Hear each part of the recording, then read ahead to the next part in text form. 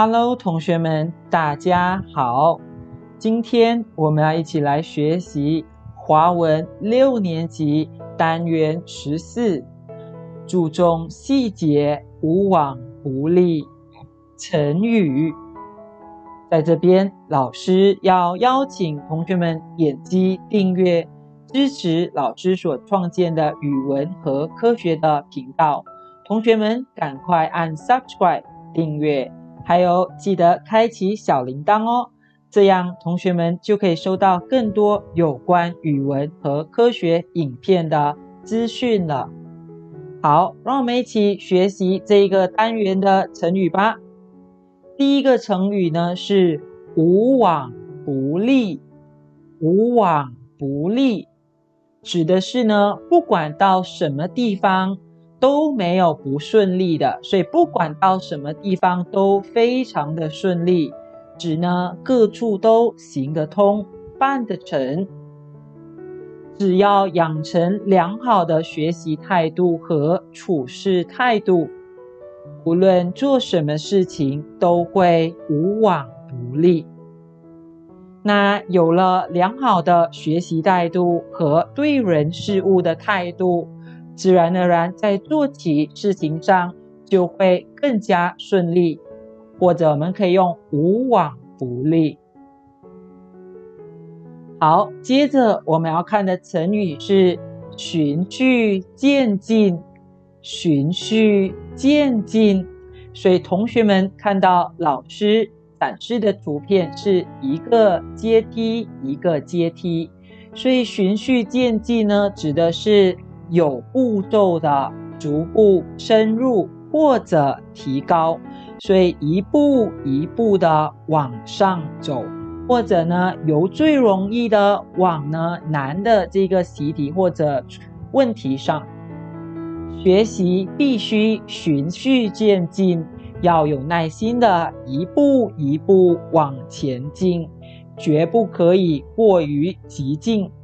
是的，我们在学习的时候呢，要先把容易的习题呢给学会，慢慢的、慢慢的提升习题的难度，然后呢，稳扎稳打的一步一步的进步，绝对不能够呢操之过急，也不能够呢想要呢找捷径啊，一步一步循序渐进的学习，那么我们。的学习的基础呢就能够扎好。好，接着我们要学的这个成语呢是不由自主，不由自主。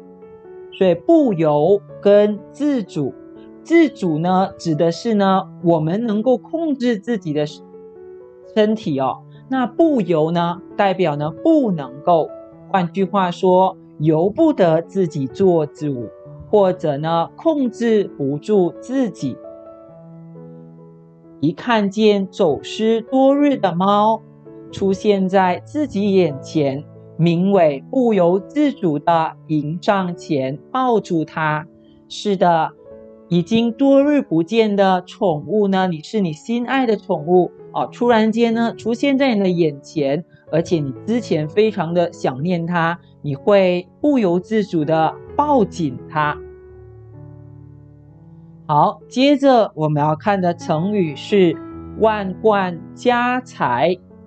万贯家财指的是呢，家里呢十分的富有，或者我们可以形容家产极丰厚，非常的富有，或者同学们常说的非常的有钱。纵然张太太万贯家财，但她还是很勤俭持家。不乱挥霍金钱，是的，不管我们有多少的财富，不管我们是万贯家财，还是呢非常的富有，我们都要能够善用，或者我们要能够好好的理财，这样呢，我们的财富呢才不会呢白白的挥霍掉，或者虚虚度掉哈。好。接着我们要看的是“一贫如洗”，“一贫如洗”跟刚刚的“万贯家财”相反的是一贫如洗啊，贫这个字指的是非常的穷。好，所以呢，一贫如洗指的是形容贫穷的什么都没有，就像被水冲洗过一样。当水呢一冲过呢，所有的东西都被冲走了，空荡荡的，什么都没有，非常的贫穷。叔父遭受诈骗集团骗光了他所有的积蓄，一夜之间变得一贫如洗。好，接下来我们要学习的这一个成语呢是“目不识丁”。目不识丁，目指的是眼睛，那眼睛不认识这一个丁这一个字。所以目不识丁指的是人呢，他不识字。那一般上我们把不识字的人呢，我们称作为文盲。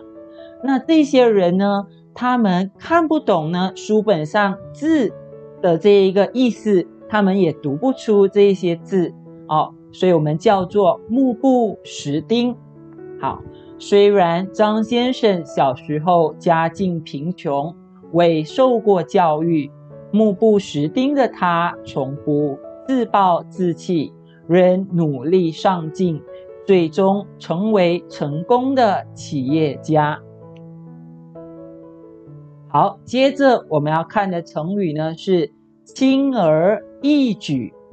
轻而易举，那轻而易举呢，指的是呢毫不费力就能够把事情呢给办成。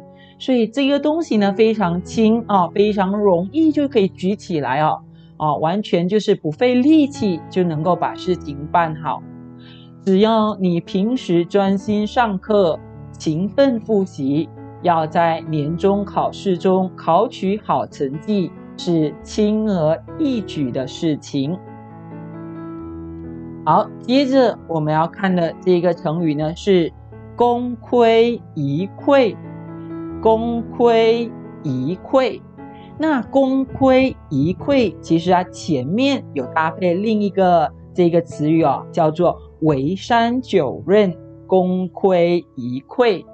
那功亏一篑呢？啊，指的是比喻做一件事情呢，最后只差一点而没有取得成功。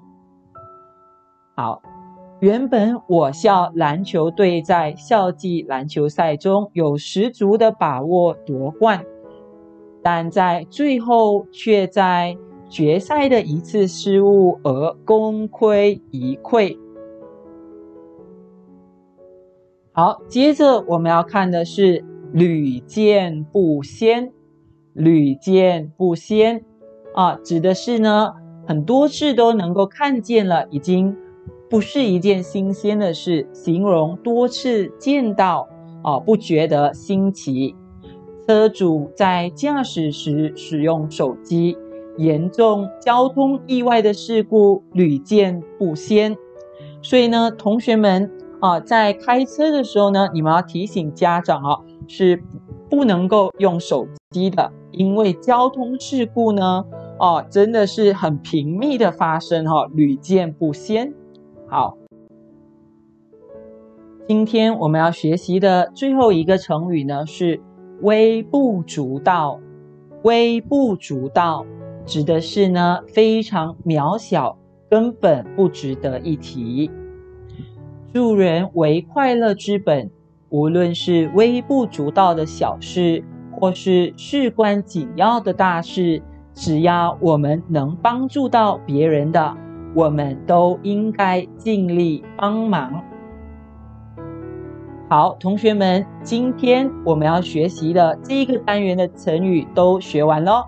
希望同学们透过这短短的影片呢，有把这十个成语都学会，都掌握好。好，我们这堂课就到这里，拜拜。